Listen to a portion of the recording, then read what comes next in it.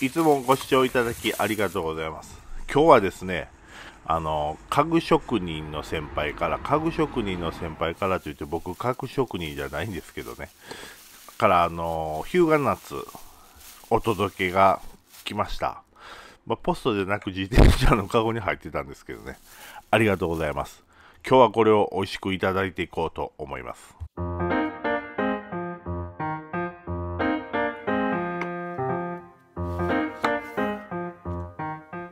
日向夏。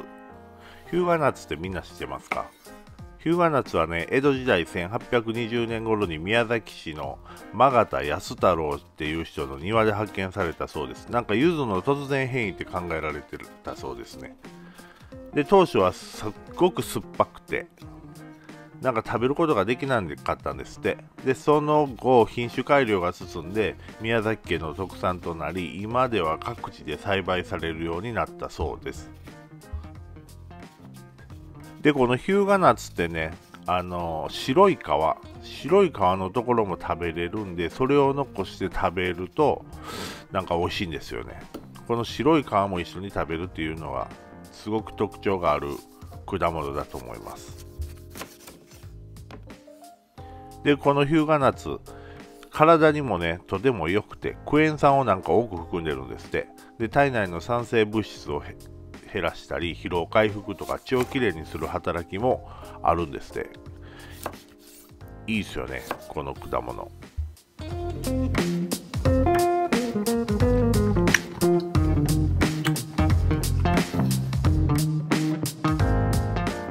でこのヒューガナッツなんですがね今では宮崎県以外でも高知では土佐小夏っていうのかな。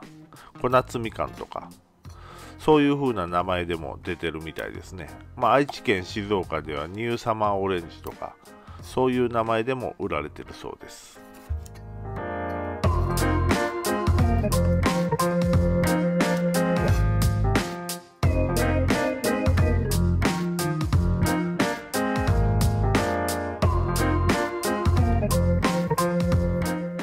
でこのざっくり切った部分はね砂糖漬けにしようと思いますこのまま砂糖漬けにして置いてたらね。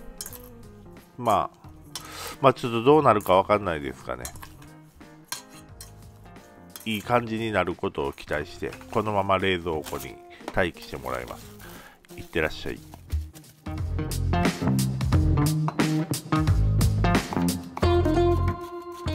で、えー、皮の部分ですね。皮の部分はこれ細かく刻んで炊いてみようかな。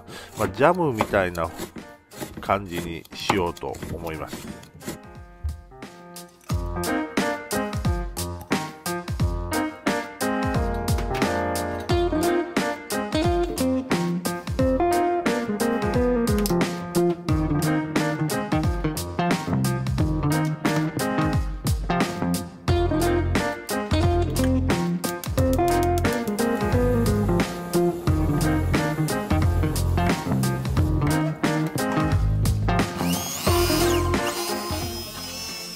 結局ブレンダーでするんやったら初めから細かくしてたらよかったですね。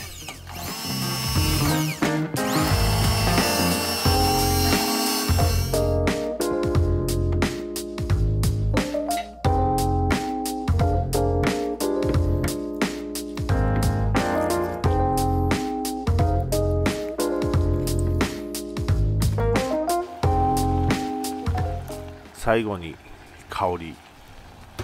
酸味を加えて出来上がりです。これでジャム。完成です。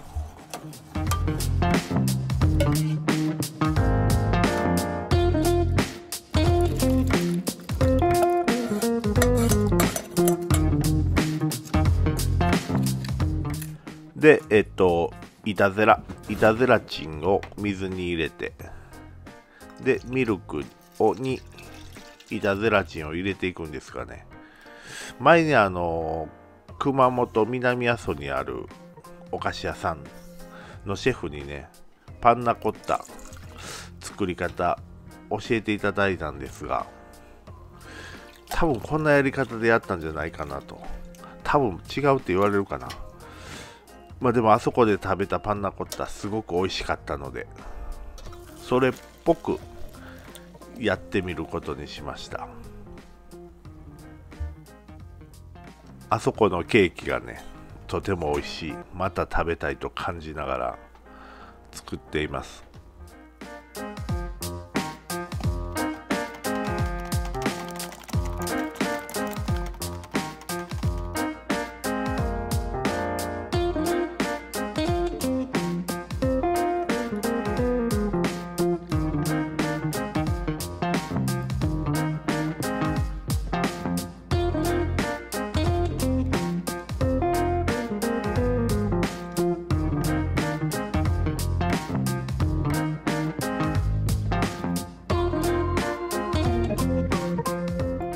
で器に入れてこのまま冷蔵庫で固まるのを待ちます。いってらっしゃい。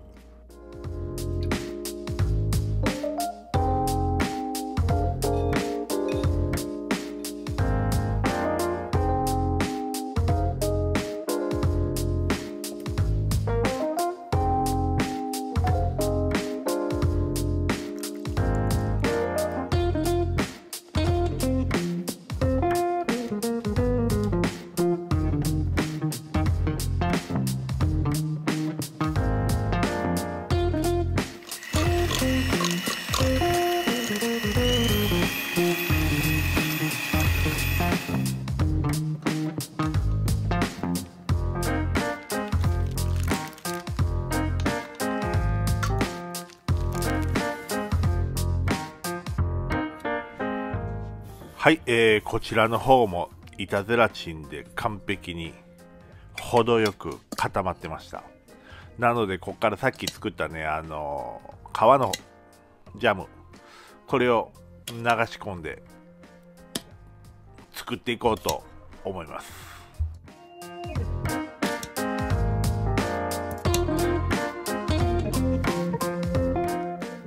この生クリーム貼るのが難しいんですよね。細心の注意と敬意を払いながら仕上げていきます。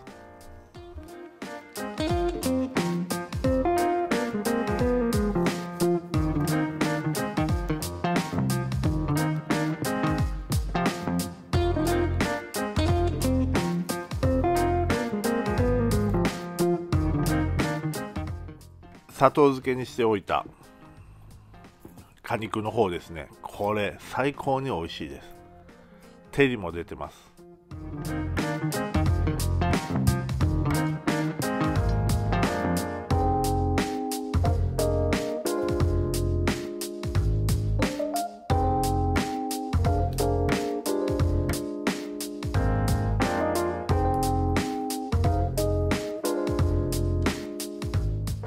庭の端っこの方で出番待ちをしていたミントで飾り付け。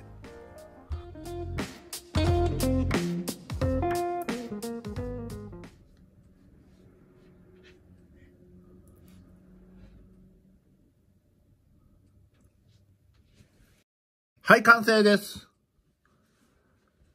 日向夏のパンナコッタ。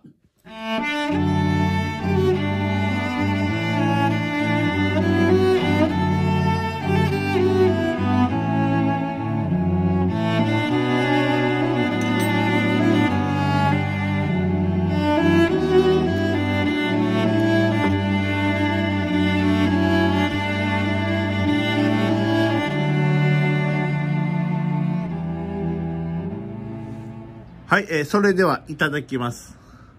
ヒューガナッツパンナコッタ。結構うまくできたと思うんですよね。どうでしょうか。それではいただいてみます。まず、この果肉も、と生クリームとジャムを合わせて、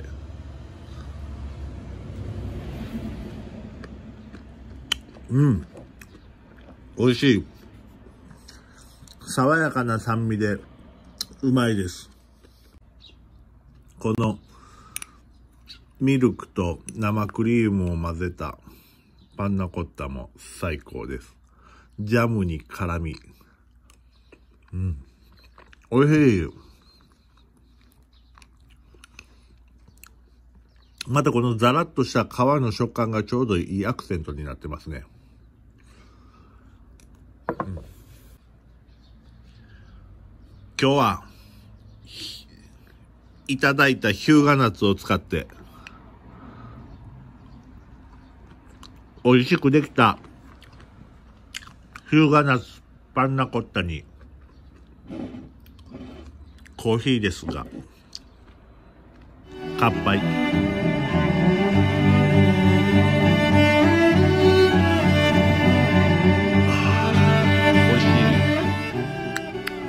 皆さんも美味しくて楽しい食事楽しんでください。最後までご視聴いただきありがとうございました。うん。